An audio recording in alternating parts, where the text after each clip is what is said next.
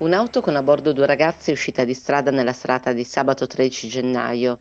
È accaduto intorno alle 18.30 in via Levone a Rivara ad una Ford Fiesta. La vettura è andata dritta ad una curva e dopo aver impattato contro un muretto è finita nella boscaglia tra gli alberi. Sul posto sono intervenuti la Croce Bianca del Canavese, la Croce Rossa di Castellamonte e i Vigili del Fuoco di Rivarolo. Ferito ma non in pericolo di vita il conducente dell'auto, illeso il passeggero. Entrambi sono stati comunque trasportati all'ospedale di Ciriè. Non si esclude che l'uomo alla guida possa essere stato colto da malore, ma sono in corso gli accertamenti dei carabinieri di Rivara.